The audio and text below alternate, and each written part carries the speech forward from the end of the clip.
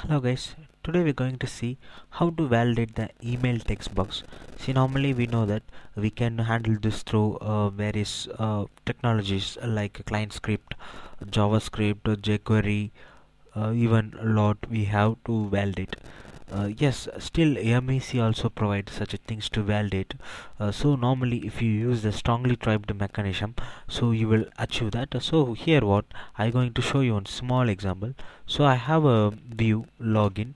So normally uh, that method is strongly typed so it's binded with the completely the login view model. So login view model normally contains uh, email and password and it asking the remember me uh, checkbox and uh, normal post method that will submit all the data uh, whatever the post data um, especially email and password and the remember me. This is the view that I have here so uh, on click of login it will uh, going to post me. So already I have validate uh, some few things. Uh, like uh, the field is uh, and how to add the record field validation everything. So this time I want to confirm that user only entering the email ID see normally I know that my username is only email ID so if I try something type and a password. So unnecessarily it will go to the server head and it will check and it will validate that uh, it is a, a not an email address. So for that reason so I want to validate this from the client end. So uh, from the validation only. So how to achieve that? So here I have a, a I have my login view model that is strongly type binded.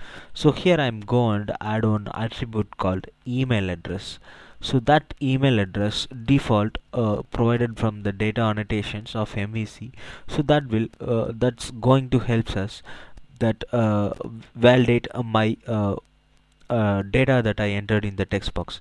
So here I can able to customize my error message as well. So email enter okay something like you can customize your message like en enter enter correct email correct email. Something like this.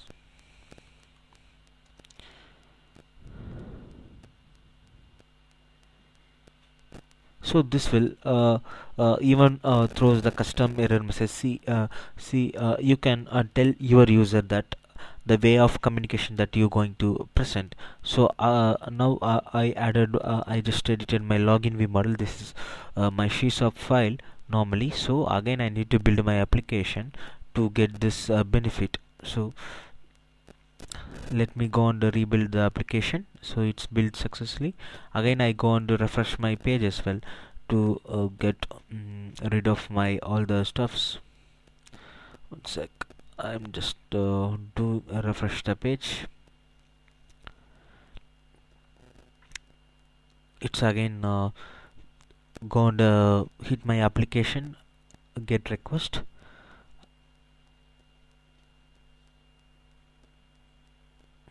Okay now uh, I try to do the login. It throws me please enter it.